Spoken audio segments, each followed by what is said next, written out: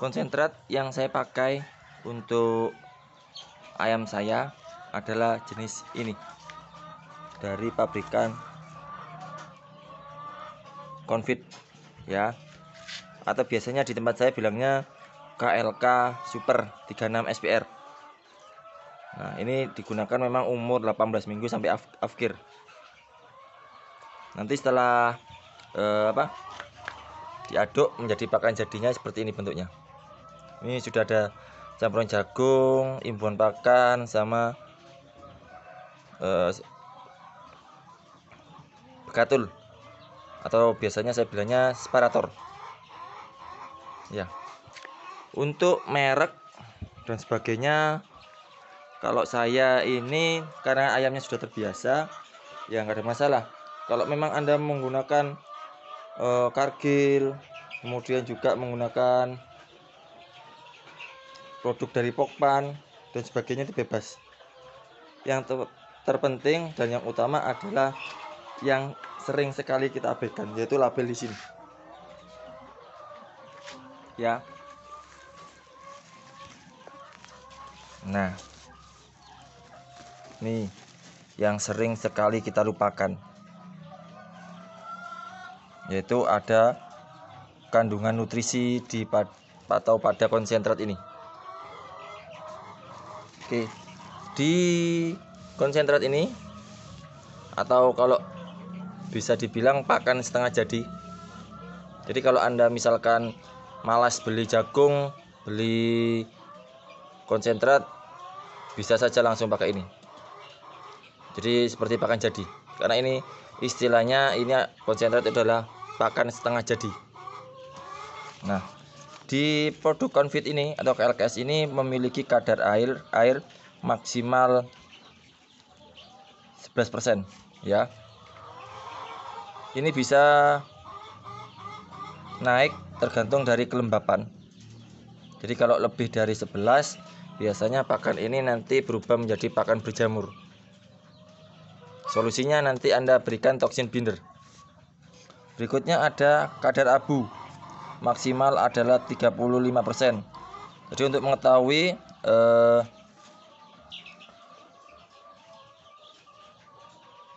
sebagian besar ini kalau misalkan berubah menjadi energi digabungkan dengan jagung yang sebagai sumber energi maka ini konsentrat ini nanti akan menghasilkan 35% kotoran. Sisanya terserap oleh pakan eh maaf terserap oleh ayam. Ya. Kemudian ada protein kasar. Minim adalah 34% berarti kalau 34% ini konsentratnya ini kualitas yang B. Karena kalau kualitas A itu ada di kisaran 36 sampai 37 ya. Kemudian ada lemak. Ini adalah 2% kalsium maksimal adalah 8% karena eh, biasanya pabrikan ini menggunakan takaran minimal. Kemudian ada fosfor ada 9 sampai 12 persen. Enzim oh, berarti sudah ada enzimnya ya.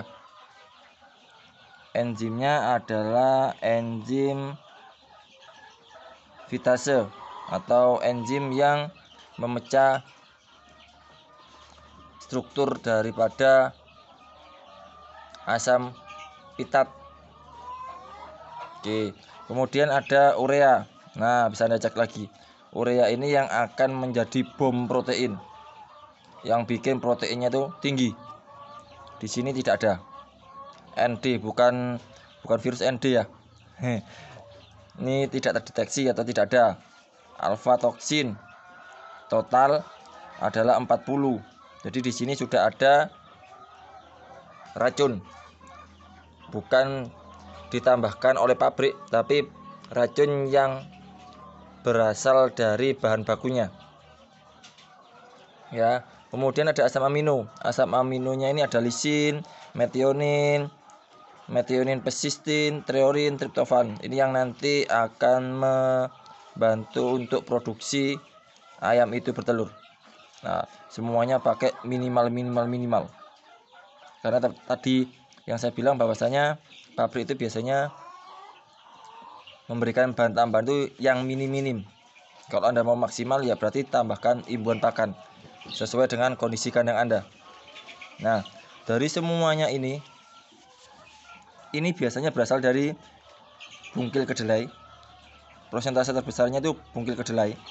Kemudian ada tepung daging dan tulang. Ini biasanya ini sumber daripada kalsium dan fosfor tadi MBM kemudian ada CGM ini kalau bahasa daerah itu namanya empok empok jagung. DDGS ini juga dari jagung. Tepung produk unggas. Ini saya belum paham. Apakah ini tepung bulu atau tepung darah atau yang lain? Ya nah lihat ini ada yang namanya minyak sawit ini yang nanti akan memberikan energi atau OM tinggi terhadap konsentrat ini. Jadi ini sudah ada minyaknya. Jadi jangan pernah bertanya kira-kira minyak itu aman enggak kalau diberikan ke ayam. kalau Anda masih nanya itu berarti Anda lucu. Berarti Anda nggak pernah melihat ini. Ya, karena di sini sudah jelas minyak sawit. Kemudian ada asam amino. Imbuhan pakan yang digunakan adalah sodium bikarbonat. Ini sebagai pengawetnya. Vitamin, enzim, dan mineral. Berarti ini premik.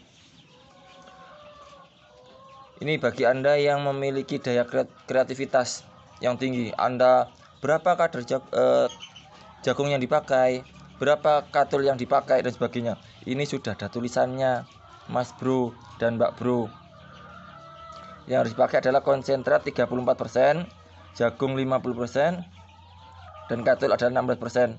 Ikutin ini aja. Karena ya yang membuat konsentrat ini bukan orang yang sembarangan. Ini sudah kelasnya kelas pakar dari profesor dan para ahli nutrisi unggas. Jadi bukan para kompresor yang sukanya memanas-manasin bahwasanya produknya kualitasnya bagus kualitasnya bagus dan sebagainya. Nah lihat ini. Yang terpenting lagi nih ada kalimat minimal minimal jadi kalau anda mau membuat uh, konsentrat ini kualitasnya bagus ya anda tambahkan imbun pakan. Kalau nggak diberikan imbun pakan ya nggak ada masalah. Kan di sini sudah ada. Cuman kembali lagi apakah anda yakin tentang kualitasnya ini? Karena kembali lagi kualitas ini dipengaruhi oleh tingkat apa? Penyimpanan dan lain sebagainya. Terima kasih teman-teman semua. Nantikan video saya selanjutnya dan sampai jumpa